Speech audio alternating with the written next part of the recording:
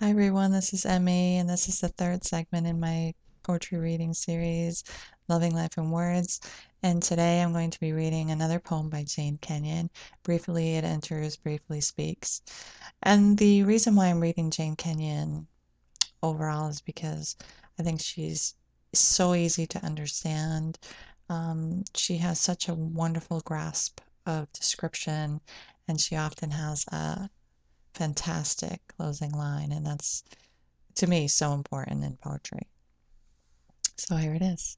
Briefly it enters, briefly speaks. I am the blossom pressed in a book, found again after 200 years. I am the maker, the lover, and the keeper.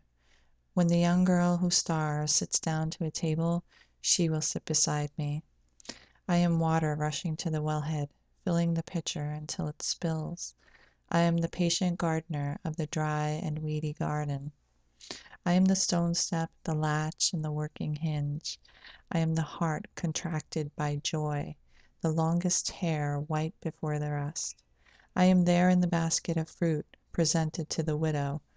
I am the musk rose opening unattended, the fern on the boggy summit.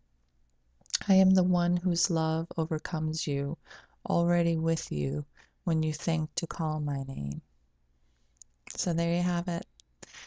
Um, I would recommend if you um, like this poem, or even if, you know, regardless of your opinion of this poem, I would recommend reading it yourself because because reading it um, is another experience altogether.